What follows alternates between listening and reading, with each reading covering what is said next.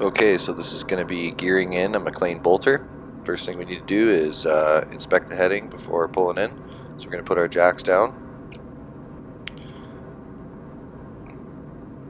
There we go. And uh, turn all our lights off. Three point contact on the way out. It's real easy to slip and uh, hurt yourself off of these things or uh, get jammed up and just bang an elbow or something hurt yourself right off the bat. So uh, master switch off if you think you're going to be leaving your machine for any amount of time. And let's uh, inspect the heading before entry. So check and make sure your 600 volt power is off. Check your ventilation board so you know how much air should be coming out of there. Check and make sure he's got signs. I like to do a walk at, uh, in to ensure the travelway is safe and clear. Make sure there's nobody broke down on the road, uh, that nobody has gotten in there before you and maybe tripped and fall, fallen, uh, hurt themselves, or you know, lost their light on their hard hat. They're stuck in the dark and they can't signal you. There's a lot of reasons why uh, you should take a physical walk in and uh, inspect with your eyes before you just tram in with your machine. So I like to follow my cable all the way in, check the vent tube, check the lower walls, make sure there's no loose, nothing's changed since the last time you were in there. Uh, making note of any hazards you might come into or that might be on the ground when you're driving in.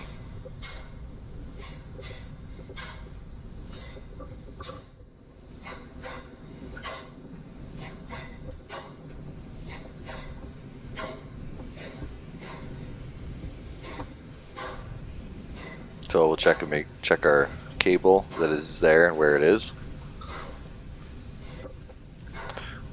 So you see make note of available gear and supplies. We got screen, fast, slow resin. I've seen rebar in here. I see rock oil off to the left there.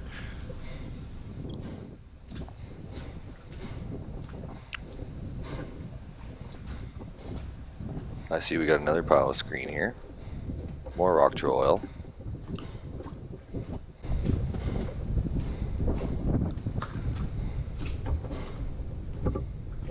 Okay. Huh. Uh.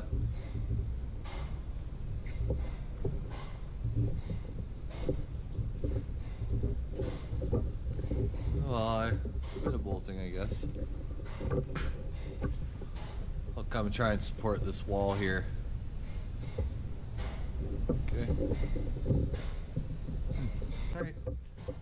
Clear. It clean. Little seatbelt, lights on, jacks up. You got to make sure that uh, your your function is an auxiliary, so you have uh, you can control your jacks. There, auxiliary to drive, release park brake, put it into gear.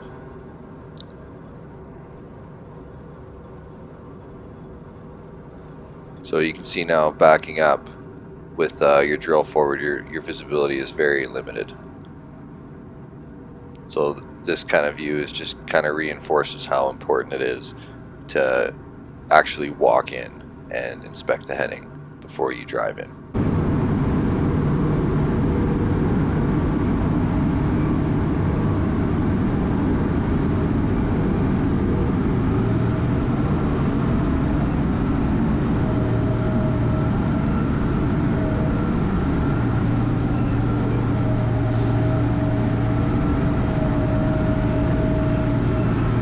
See there as we're driving in, I got the boom on the, the boom mount there, and the drill steel's been removed. Uh, just in case the chain is to break on the drifter, when you're going downhill, that, that drill steel can come right through the cab. So it even has a little placard there that says always take your drill steel off before tramming. And uh, you can see I got some 10 foot rebar up there. They don't fit in my, uh, my rebar basket. So I've just got them set up on the top there and I'm driving really slow and hopefully I don't lose any. So in the previous scene you seen that uh, there was a lot of rebar that were painted yellow. That's how we identify the, the 10 foot bolts and uh, the extended ground support.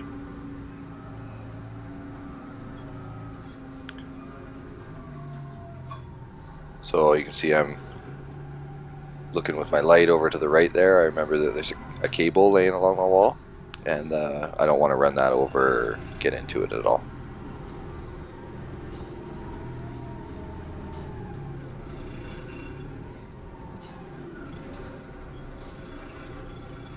So you can actually see how how tight um, some of the places are from this perspective too. The, the vent tube, even with the twin duct, is right on top of the machine.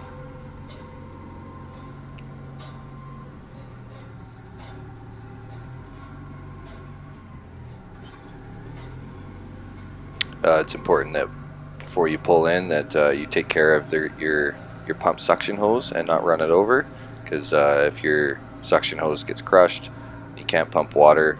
Some of the places naturally make water as well as drill water and uh, you end up flooding your road out and if you got holes in your boots or whatever reason sucks walking through a water hole. So I like to articulate outwards and it makes the exit of the cab uh, quite a bit larger and you can get in and out of the machine a lot easier. And because I'm just plugging my cable in, I just put one one jack down and a park brake. And uh, that's the equivalent of, I think, is uh, of two wheel chocks, but but even better. So a nice three point contact there. Ooh, lovely. There's my pile of rebar. So pull some extra slack out for this cable.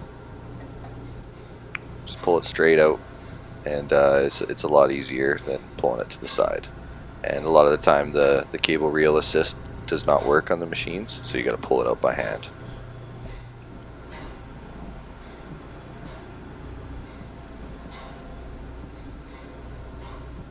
So make sure that the, none of the threads or the prongs are, are muddy and they're nice and clean.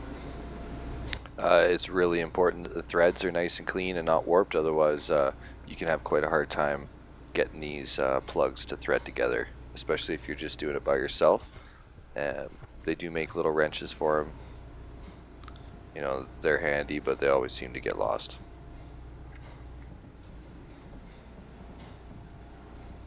So it's nice when uh, wherever you're working, some places have little mounts where these can bolt into the wall and you just Hilti them into the wall and they, they mount there and it's uh, it's a lot easier to push the plug in and then thread it.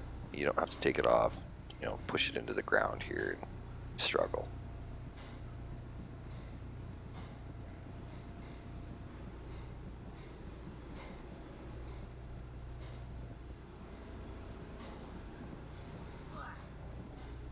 This stuff's heavy too. So this is really important uh, to give a good backlash on the cable. So yeah, yeah, Very, very important. very very important. So the idea of this is uh, you give a good backlash on your cable, and if you drive away, it's not going to pull your panel off the wall or pull your plug apart.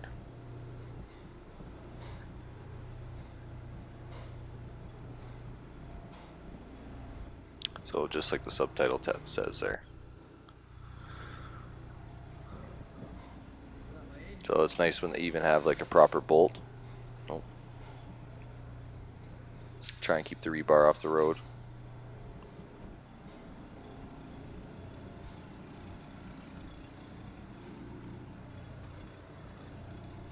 So seatbelt jacks up.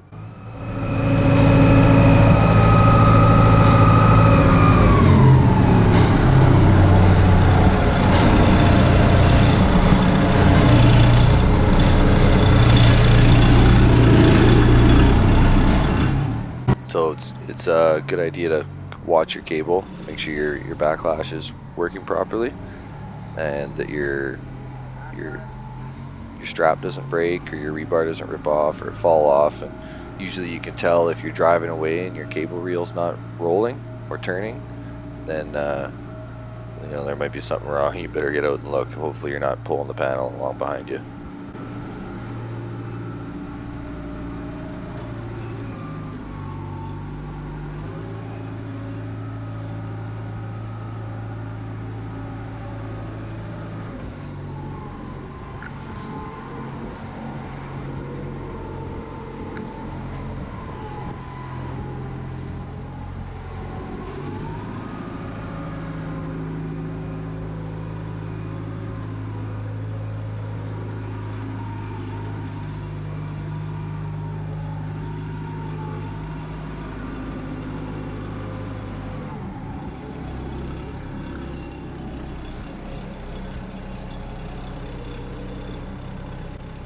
Park brake, jacks down, diesel off.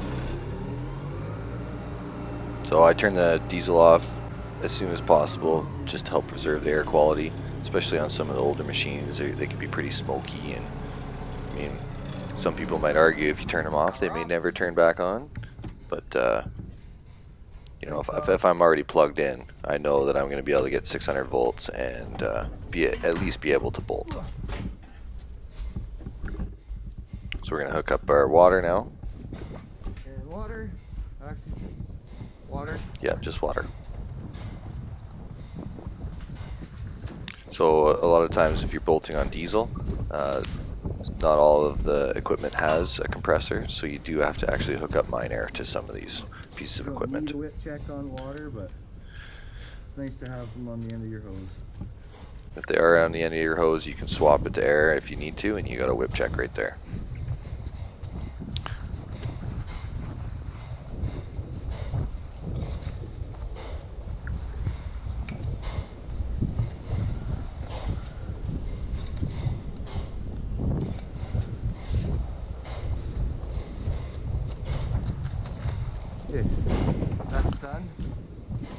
So now we uh, move the power cable off the road.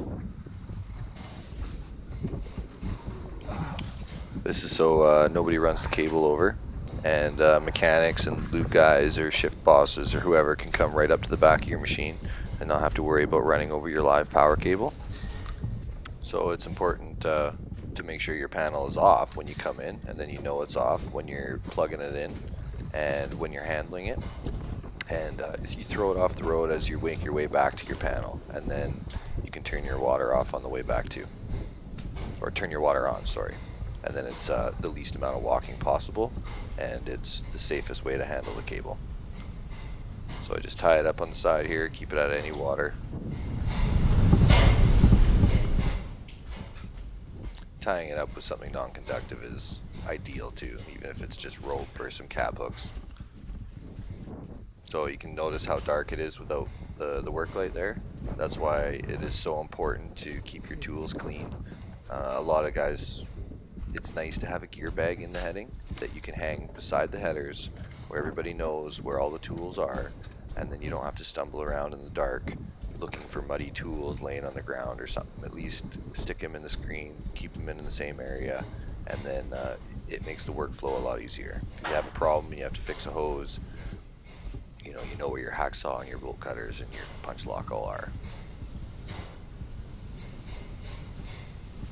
A little bit more cable to tie up here.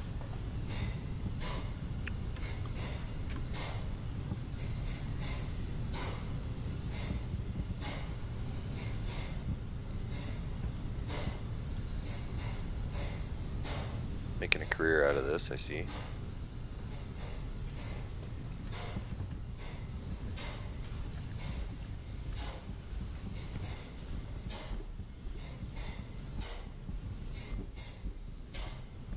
So, and this is a good example of why it's nice to, to have a panel that you can plug a jumbo cable into and for both ways and then miners can move it ahead and you don't need an electrician to, to bump your panel ahead and uh, it leave it makes uh, discharging or shutting off your machine and locking it out uh, much quicker and more efficient. You don't have to walk all the way back to energize or de-energize like you know, if I tear out, if I tear down and come out of here, I have to walk all the way back, turn my panel off, walk all the way back, roll up my cable. It's, it eats up a lot of time just walking back and forth, making sure that you're doing things in the right order. And you know, if you got to walk all the way this far back just to shut your water off, it's, it's very time consuming. If you have any problem like a fire or something like that, you got to go all the way back after you hit your fire suppression and turn your panel off or your water hose blows and you know there's, there's a lot of reasons to keep these services up ahead. So don't stand in front of the panel and don't look at it when you throw it. If they do explode you don't want to get in your face. This is a little bit of a pet peeve of mine. I really like drop headers even if it's on a hose or you got a one-to-one -one valve. Like uh, I was looking at on my way out of the heading. but uh, this seems to be a pretty common thing now. Is, is is people don't understand that it's hard to reach up there, and if you don't have a ladder or scissor truck, you can't turn your water on unless you got like a 10 foot bar or something. So it's it's nice to even have, like I said, a one to one, so you can shut it off on the ground, even if it's right behind your machine, is ideal. But uh, if you have an air and water drop head in a central location, somewhere close to the working face, you hang your gear bag there, and then you know it's it's makes it very fast and efficient to to do services and keep your gear clean and organized. So then one of the last things you want to do is hang your sign saying that uh, you got bolting, there's energized cable, ground support progress, like so. Yep, thumbs up. Okay, and walk all the way back in.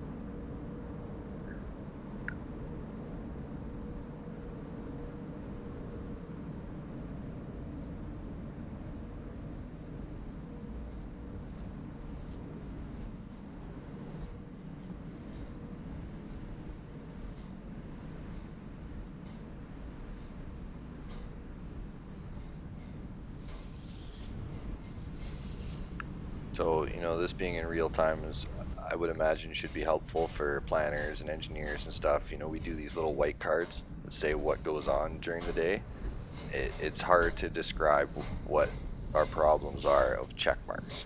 And to see that this video is 21 minutes long and it's just me driving into the heading and setting up. And I'm not taking, I'm not being slow, but you know, I'm trying to do things properly and it's, it's time consuming. And it's just because simple things are being missed like air and water is up close having the panel up close it saves a lot of time.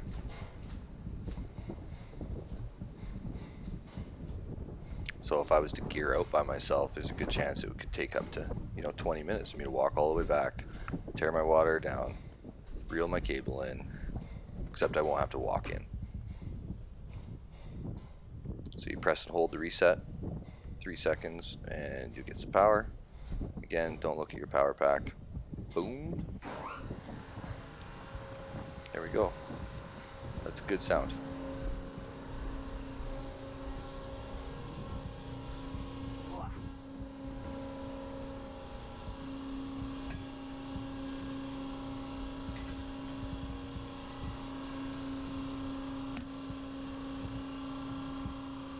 So you gotta hold your proximity switch. Oh yeah, turn on the console first.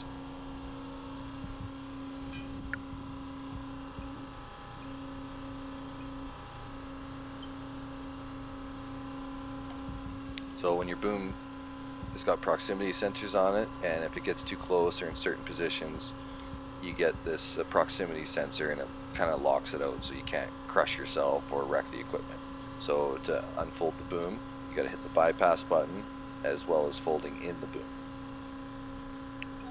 So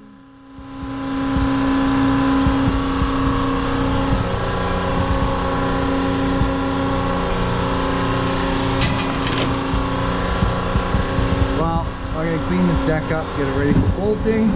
We'll go from there. So you can see I got my deck nice and clean here. Ready for bolting. Need some drill oil.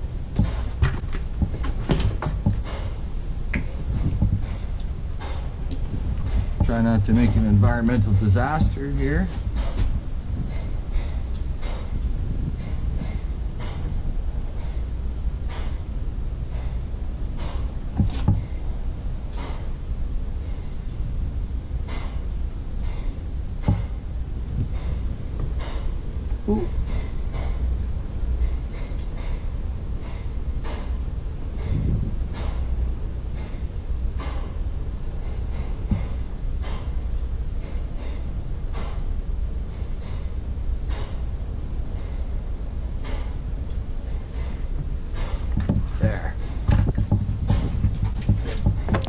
these machines won't start drilling or uh, if the rock drill oil is empty. So if you're having problems getting hammer or something or rotation to, to stay on or even turn on at all, it's a good chance it's the rock drill oil. There. I got everything put away in a spot. I got extra drill bit. Actually not. I need that. I need that. Bit bag. My wrenches. My lunch. Extra fast and slow resin on deck. I got my rock drill oil. Got some little tools here. The resin I'm using. All my 8 foot rebar. I like to count my plates before I get started and then I know every time I use a bundle then that's 20 or, or 10. Extra dollies, bolt cutters, lots of grease. Got all my rails up. Drop the steel in and put some bolts in.